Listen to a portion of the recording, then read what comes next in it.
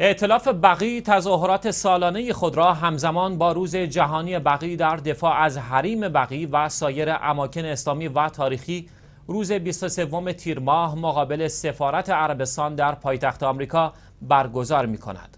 به گزارش پایگاه خبری بقی این تظاهرات با هدف محکوم کردن تخریب سیستماتیک اماکن مقدس اسلامی و دارایی های تاریخی و دینی برگزار خواهد شد.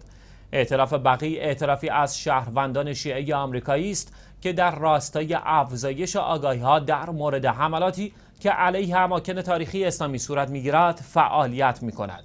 این اطلاف در مورد همه ضرباتی که از سوی دولت سعودی به خاطر تعصبات مذهبی و اندیشه وهابی به اسلام وارد شده است سخن می‌گوید.